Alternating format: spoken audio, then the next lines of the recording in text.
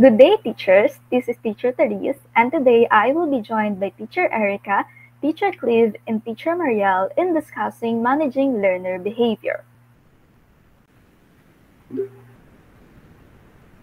Under conduct management falls the concept of teaching appropriate behavior. And given this, in our session, our essential question would be how can learner behavior be best managed in learning environments? Remember, challenging behaviors are often indicators of what students need. And as a teacher, if you can read the need, you can meet the need. And instead of reacting to a negative behavior every time it occurs, we can instead proactively react to this and then reduce the occurrence of this behavior. So um, in, in this attempt, we can implement these steps that can be followed loosely to address minor problem behaviors are incorporated into a formal behavior assessment called a functional behavior assessment. First among the steps is we need to identify the problem behavior. This is the building block of this process. Of course, before you implement your solution to a problem, you have to first identify the problem. For example, you have a student, John, and John wouldn't stop disturbing his classmates during class discussion. Um, and you wanted to change this. You wanted to change this kind of behavior. But this is very general, isn't it? We, there are a lot of ways that John may be disturbing her, his classmates. So this way, when you want to change this behavior, you have to be as specific as possible. How do you want to change his way of disturbing his classmates? Maybe you want to say that you want John to stay in his seat during the math lesson. Here are some examples of non-specific behaviors um, be more respectful. So there are a lot of ways, for example, your student is not so respectful.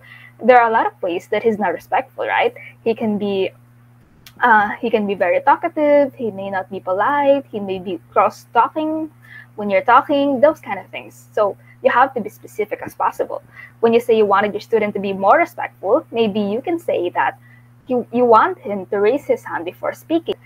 Another example is stop touching other students if you wanted to make this more specific, maybe you can say you want a student to not push or hit others. So the point here is that, first of all, you need to identify the problem behavior and to be as specific as possible so that it is more attainable and that you can implement um, the solution better.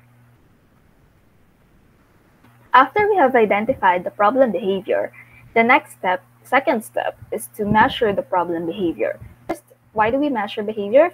First of all, to make your life easier as a teacher. As I've mentioned, if your goals are specific enough, if you have enough information of the problem behavior, you know better how to uh, implement your solutions regarding this. And second is to gain valuable information on when, where, and how often a specific problem behavior occurs. So when you know this um, this information, you can make inferences from here. Say, for example, you notice that a student is frequently out of her seat during math. Each time the student is out of her seat, you write down the time each day for one week. And the results show that the student is out of her seat most during most often during independent math practice for an average of five times during the 10 minute work session daily. So what does this tell you? If your student is often out of her seat during dependent math practice, you can infer that maybe this student needs increased supervision and possibly academic help during independent math practice. As I've said, problem behaviors are just students' way of communicating to you, and it's your way of knowing what their needs are. Third is to use this information to choose appropriate behavior management strategies if you know this certain information, you can use this as a blueprint to, to implement your own behavior management strategy. Last, of course, to capture even the smallest signs of progress when attempting to change a student's behavior. With careful monitoring, you can capture even the small steps of progress, such as the decreasing time the student is out of his seat which can maybe from five, it turned into three. So this should not be overlooked because even the smallest progress leads to bigger changes over time. So how do we measure a behavior? We can use a frequency count and a duration recording. When using a frequency count, here we, we count the number of times the behavior occurs within a given period of time. So this is applicable for behaviors that have a distinct beginning and ending. So the key point here is how often does the behavior occur in a given period of time. Say, for example, your period of time was during independent math practice, and maybe that is 20 minutes. So you, ha- you have to have an, a beginning and an ending, and maybe the beginning was the zero minute, of course, and then the ending was the 20th minute. In that period of time, maybe you want to count how often your student was out of his seat. So in that in that amount of time, how how many times your student was out of his seat. So your frequency count maybe your student was out of his seat 20 times or five times maybe within 20 minutes. And um, this can be expressed by numbers or by rate. When you want to get the rate, you divide your frequency by the time period. So in this example, you divide 25 by 10 minutes and expressed in rate, that would be 2.5 math problems answered per minute. Here are another examples of frequency counts number of times out of seat during math, number of times answered in 10 minutes, number of times students asked for help during independent work time. So the keyword, of course, is how often. Second is duration recording. For behaviors that go on over periods of time, you can use a stopwatch or a timer to measure how long the behavior occurs within a given period of time. So in frequency, you count how often the behavior occurs. In using this duration recording, you count or you measure how long the behavior occurs. For example, the duration can be the total amount of time out of seat during math or the length of time working before a student takes a break. Results of a duration can be a number such as working 4 minutes of a 10 minute work period, but it can also be a percentage. To get the percentage, you divide the duration by the time period. In this example, that would be 40% of the 10-minute period spent working. So here are another examples of duration recording. We have total amount of time out of seat during math, length of time working before student takes a break, and length of time student worked independently without help. Another way of measuring behavior is the antecedent behavior consequence model. So, um, in using this, you need to record what happens before the problem behavior, during the problem behavior, and after the problem behavior. So, this model helps us understand why a child is behaving a certain way. So, here we will uh, discuss what this ABC model stands for. The A is the antecedents. This tells us about the context for the incident and may help us to identify triggers which set off the particular behavior. So here is the ABC model. The antecedent, of course, is what specific activity or event happened before the behavior. The behavior is what specifically did the child do or say, and then the consequence is what happened after or as a result of the child's behavior. So here is an example of an ABC recording. Some antecedent sections are blank because this means that the consequence for the previous behavior also served as an antecedent that triggered the next behavior. So let us see, let us see this example. Uh, the antecedent says, the teacher says, John, sit down.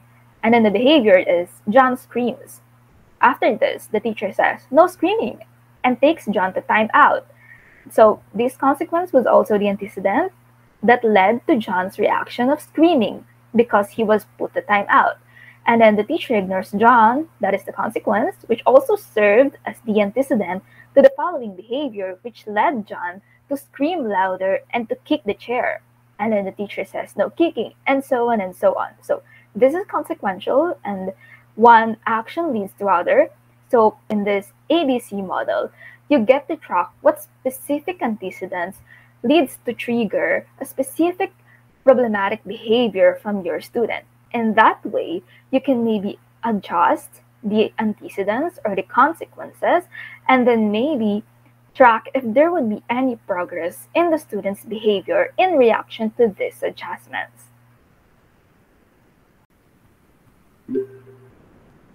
Now that we have finally identified the problem behavior and measured the problem behavior, the next step would be to intervene and to implement processes that could solve these problem behaviors. And that would be discussed by Teacher Celine. Thank you so much, Teacher Therese, for your excellent presentation. Now that we already know steps 1 and 2 of teaching appropriate behavior, let us move on to step 3 to develop a hypothesis to determine the purpose of the behavior. So, from step 1, we get to identify the problem behavior. But in this step, we have to scrutinize the problem behavior itself. Like, we really have to examine it thoroughly. Because understanding why the behavior occurs in the first place is one strategy to change it. In short, we have to find the root cause. We need to ponder why does the behavior occurs? How do we know when the behavior is about to happen? Because as teachers who manage the class, we should not lose sight of the fact that a student's behaviors will be repeated when the behavior yields his desired outcome. Let me give an example. A student finds fun in teasing his classmate because he's amused by how easily he gets annoyed. His classmate's reaction causes his frequent taunting. So now we have to ask ourselves, what is the outcome when he displays this behavior? And there are two examples of outcomes. Number one, does he get something he wants? When the student teases his classmate, did he get something from it? Like I said earlier, the student is amused by his classmates' reactions, so he continues to taunt him in any way that he can. But what does he get from it? We will discuss this later on. The second example of outcome is does he get to avoid doing something? Maybe the real reason why the student teases his classmate is that he wants to avoid something. From these outcomes, we will now have to wonder why a behavior occurs. A behavior occurs for two main reasons. It's to gain and to avoid something. Pretty simple, right? But it's really not. It's pretty complex because sometimes we do not really know why a student misbehaves. They might have this behavior because they want to catch your attention, get some stuff they desire, and simply sensory input, or they just want a stimulation. Maybe they're doing the problem behavior because they want to avoid class activities, tasks that they find difficult, and assignments. So earlier, I said that we would tackle what the student gets from teasing his classmate. The first reason a student misbehaves is that he may want to gain something. Maybe he has this goal in mind, like getting attention from the teacher, his peers, or other adults. For example, uh, I know that at some point in our school life, we have a classmate or friend that talks to us while we are busy working on some classwork, right? Uh, some would pull our leg by suddenly tickling or poking us. But for what reason? Why would they do these silly acts and pranks we get annoyed at? They simply want our attention. Like, wow, it does feel like a treasured possession when you have someone's attention. Another example of why a behavior occurs. A child wants to play with his favorite toy or have access to gadgets or anything that does not belong to him. So as a result, he would forcefully take someone's stuff. When we witness these situations in children, we will just find it normal. Some elders do not even bat an eye because they know that fighting over things is common. But the real reason the student has this behavior is that he wants to get what he wants. Lastly, maybe the student also wants to have a sensory experience. For example, They are tapping on desks or body rocking, which students are often reprimanded for not sitting still. But the real reason for this is they just want to energize themselves. The situations I explained earlier are some examples of behaviors when a student wants to gain something. But now, how about behaviors when he wants to avoid doing something? What does that student do? Students may want to avoid tasks that exhaust them, such as schoolwork and uncomfortable situations. Because of this, they may intentionally break classroom rules to be sent outside by the teacher. Like, how great is it to do nothing on a fine day, right? But this misbehavior must not be tolerated. As teachers, we have to find ways to stop this problem behavior. But we cannot stop it immediately, so we should focus first in this step. Students may also want to avoid others by not joining them during lunch, recess, and homeroom. If they are doing these things, we should not judge them quickly. Let us keep in mind that students might avoid certain situations or tasks they find unpleasant, even if it's fun, easy, and enjoyable for other students. And what they are doing is called avoidance. Here are the examples of avoidance. Number one, asking to go to the nurse during math period every day. Oh, so faking your illness just avoid a particular subject is a no-no, okay? If you continue to do this, it might result in problem behavior. Number two, talking out during a test to purposely escape by getting sent to the principal's office. It's pretty self-explanatory. There are really some students who want to avoid the exam but would do it in a troublesome manner, right? Number three, crying or refusing to comply and follow instructions. We often see these situations in young ones. In their desire not to cooperate, they would go to extreme lengths such as crying. These scenarios really happen in the classroom. So as teachers, what will we do now? How can we even lessen the problem behavior? So let's proceed to step 4 to know it, which is to choose an appropriate replacement behavior. Think about this. Why should a student employ the appropriate behavior that a teacher recommends rather than the problem behavior? After all, the student's current behavior is beneficial for him.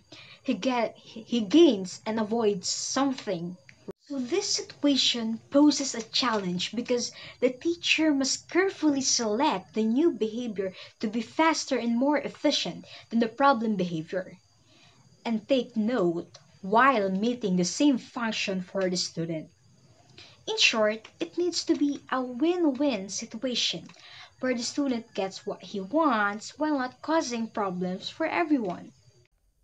But really, how do we choose an appropriate replacement behavior.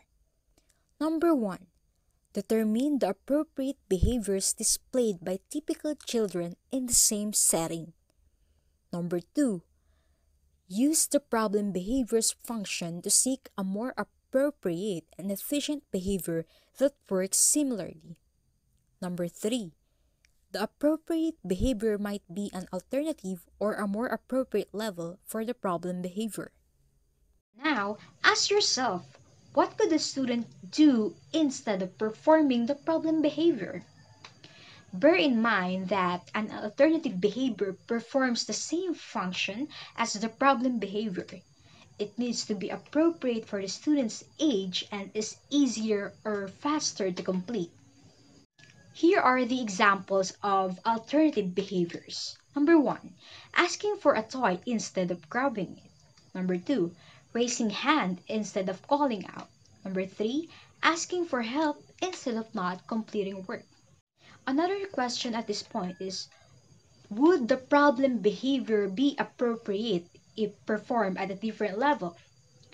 Because we should remember that some behaviors are only wrong when they are carried out at extreme levels. In reality, what we consider as a standard is the students should generally speak at a moderate level, work at a moderate pace, and interact with others in a moderate amount. From this point, we can clearly see that problem behavior may be an excess when performed too frequently and a behavior deficit when performed seldomly. Here are the examples of appropriate levels. Number one, speaking loudly enough for the teacher to hear. Number two, asking for help only when it's really needed. Number three, completing work at a moderate pace without rushing or taking too much time to complete. Okay, did you learn something from steps 3 and 4? I really hope you learned something from this presentation. And don't worry, because you will know more as we proceed to Teacher Mariel, where she will explain how to identify the current stage of learning and determine the level of support. So that's all. Thank you for listening. Thank you, Teacher Celine. I am Teacher Mariel and we'll now go on to the next step. The fifth step is to identify the current stage of learning. Before we can teach a replacement behavior, we must first determine where it fits in the student's skill repertoire.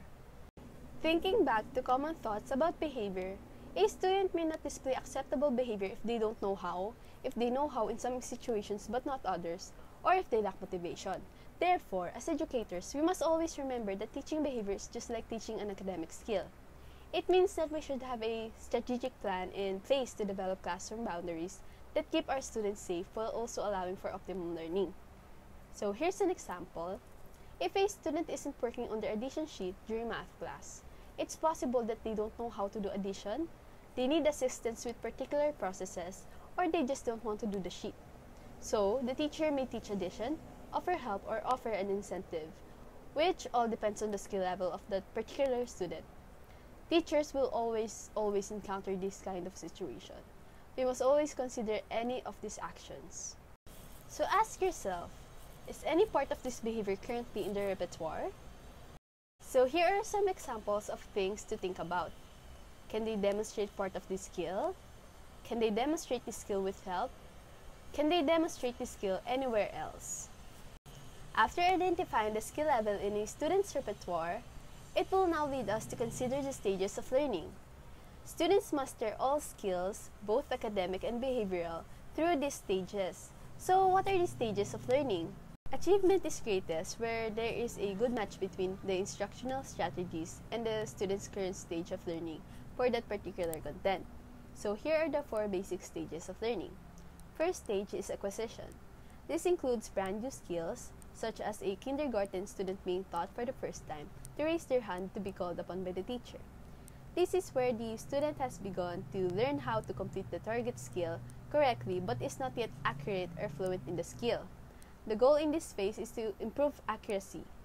Second stage is fluency, which means previously taught skills that the students need to perform more efficiently, such as a student who still counts on their fingers when doing addition. This is where the student is able to complete the target skill accurately but works slowly. The goal of this phase is to increase the student's speed of responding. Next stage is maintenance. This is previously taught skills that the student can routinely perform under similar circumstances. For example, the student independently reads several books in the same reading level the student retains mastery levels of performance attained when direct instruction was in effect.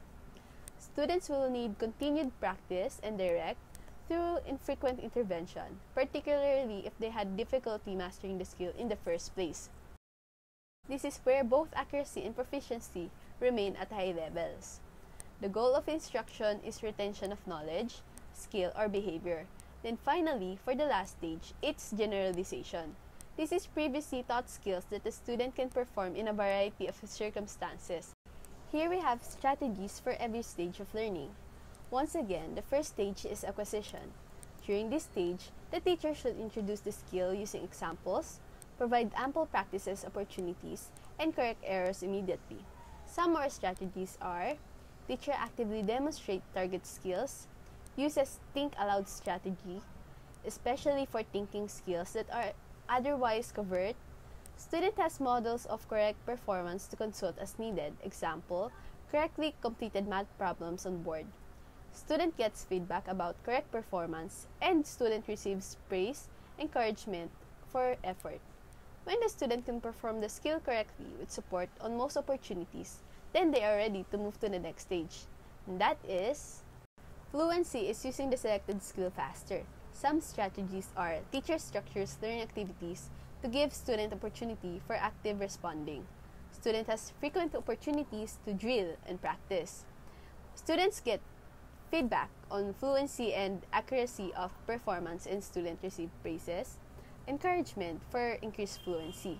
During this stage, the teacher should provide practice opportunities while gradually decreasing assistance, so the student can possibly perform the skill independently on most opportunities and can move to the next stage.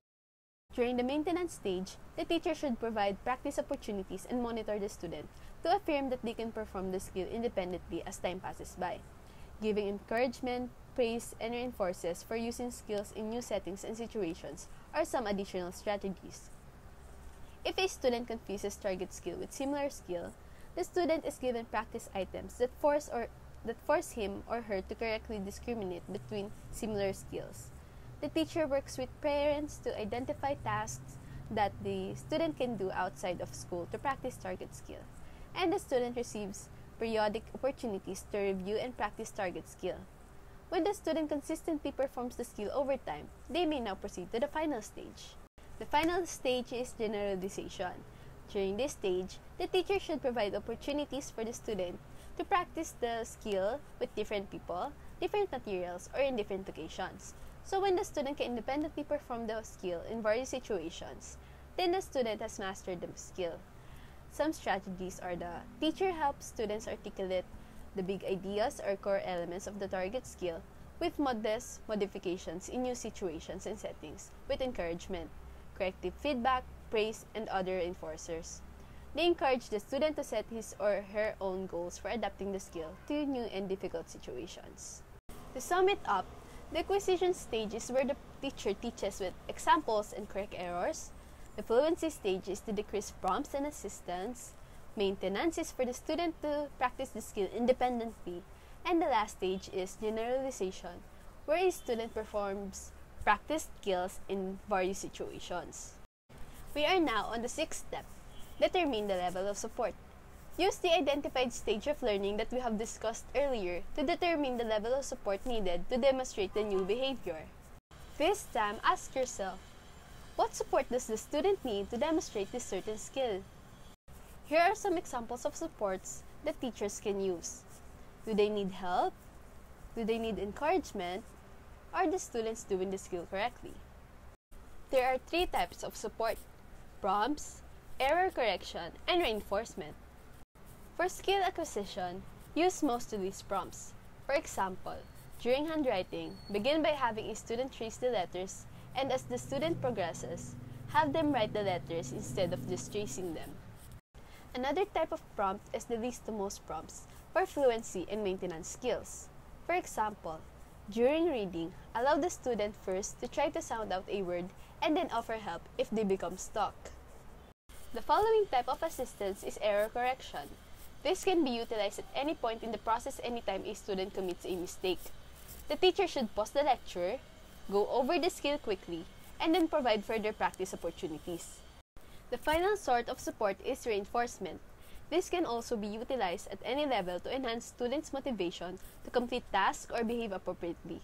Teachers can help their students learn by rewarding them with praise, privileges, or small rewards. To summarize the types of support, prompts have two types. Most to least when teaching new skills, and least to most for strengthening existing skills. These are visual supports. Next, error correction. Whenever a student commits an error, stop the lesson, reteach it, and then do additional practice. Lastly, reinforcement, where teachers praise frequently when teaching new skills, praise intermittently when strengthening existing skills, and use tangibles such as tokens or stickers, which can be exchanged for a prize. And that's it! The final two steps will now be discussed by Teacher Cleve. Thank you, Teacher Mariel. Again, I'm Teacher Cleve, and we'll be moving on to the last two of the eight systematic steps to promote behavior changes in students. After identifying the level of support the students need, it is time to track their new behavior. As students practice a replacement behavior, they move through the stages of learning. First, the student becomes more fluent in the behavior. Next, the student can now reliably demonstrate the behavior.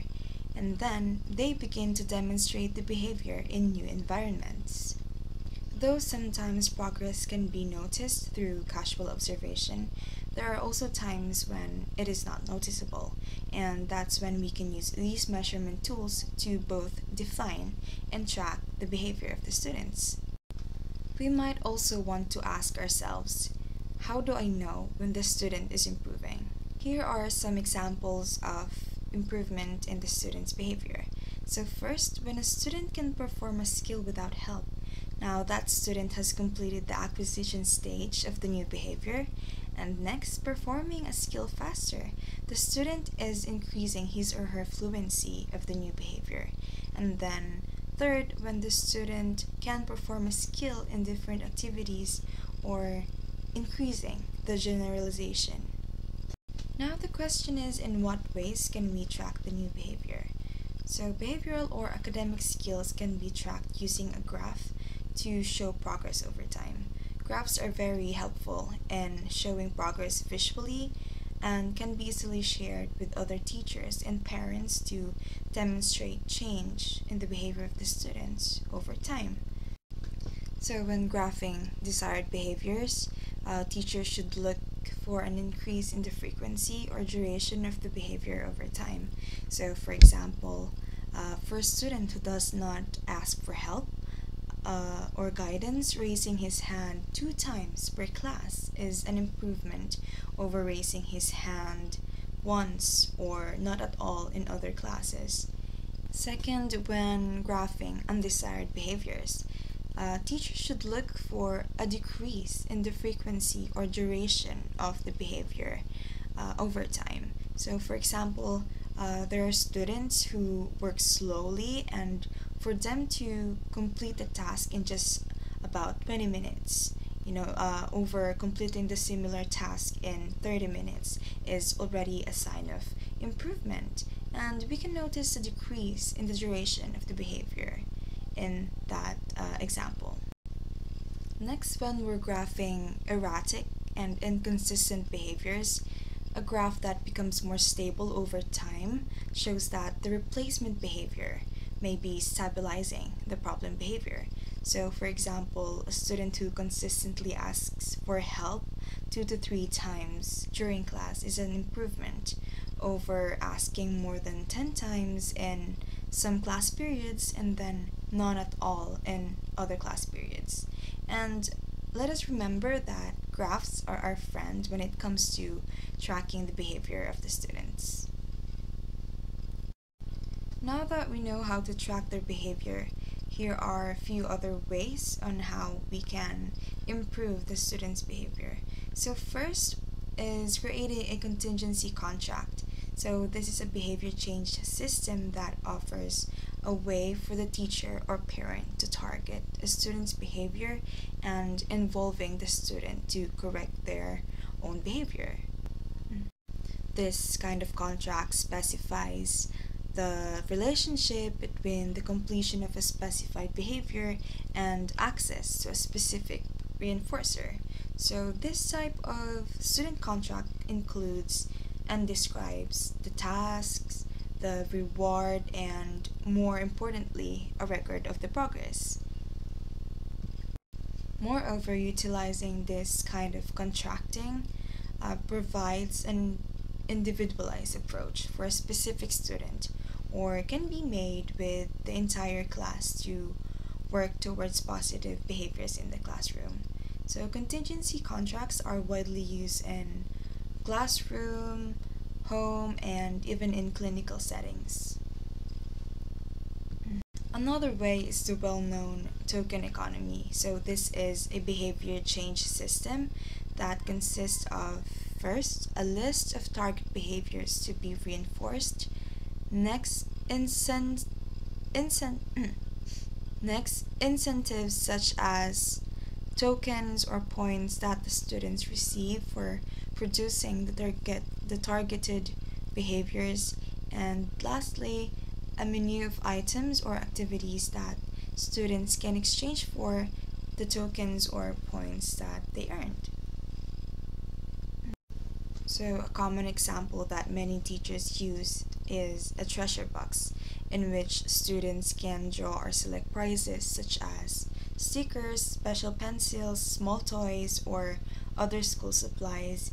And schools often have a school store in which students can turn in their tokens or tickets or points for school supplies or the other age appropriate items. So they uh, the reward that they get, for example, they have the token, they get to exchange it in the store for, uh, let's say, candy or a school supply. And then you can also create your own version of token economy as long as you consider and give it careful thought or a thorough plan on how to begin, implement, maintain, evaluate, and remove such behavior uh, change systems. So third is a group contingency plan. So this utilizes a common consequence that is contingent upon the behavior of an individual member of a group, a part of the group, or everyone in the group.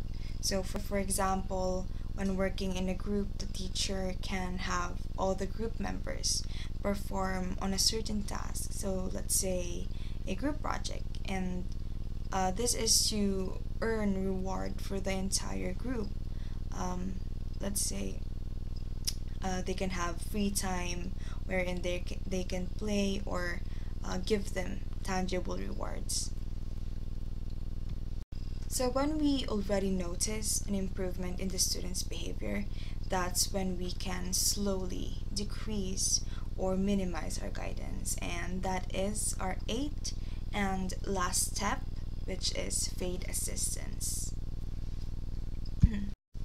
Another purpose of tracking the new behavior is to know when to decrease the support and as the student moves through the stages of learning, he or she will uh, need less assistance to demonstrate the replacement behavior and de decreasing the assistance uh, moves the student towards the ultimate goal of being able to perform the replacement behavior independently in different situations.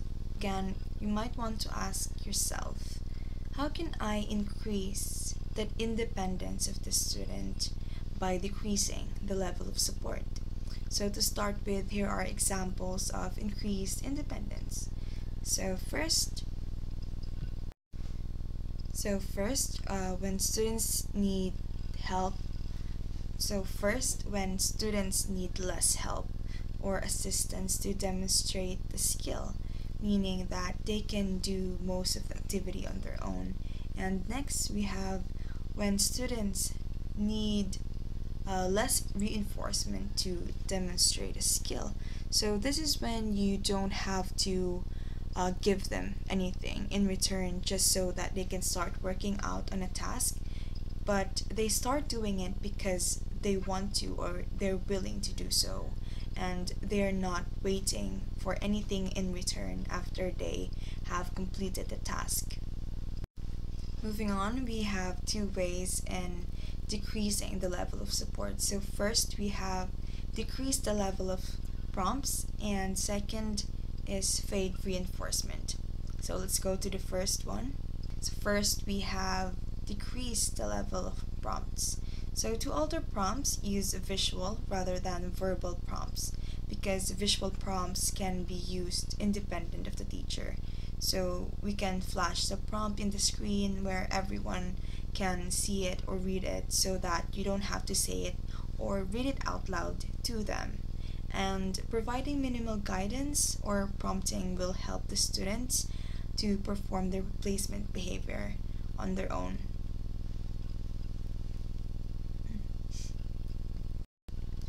Another way to decrease the level of support is to fade reinforcement. And for us to do that, uh, we can increase the number of activities or amount of time to be completed before delivering reinforcement. So for instance, instead of giving a reward right after they finish one task, uh, you can give it right after they finish three or more tasks.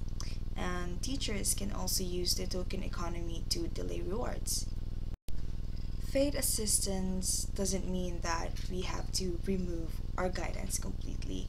Rather, it means that we should provide our students with the necessary help that they need so that they can have more confidence in themselves whenever they experience or try new things.